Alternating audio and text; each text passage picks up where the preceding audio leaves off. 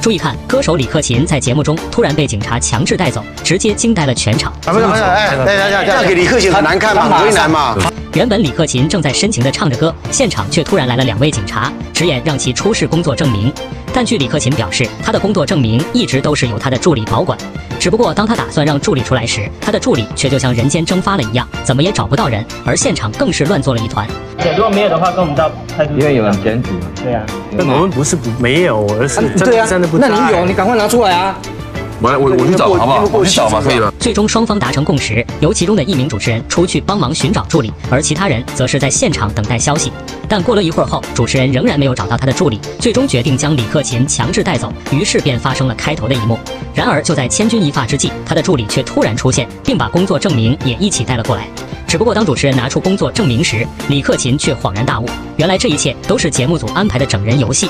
不得不说，台湾省那些早期的整人节目真的是太过疯狂。恍然大悟，这是我们的工作人员啊。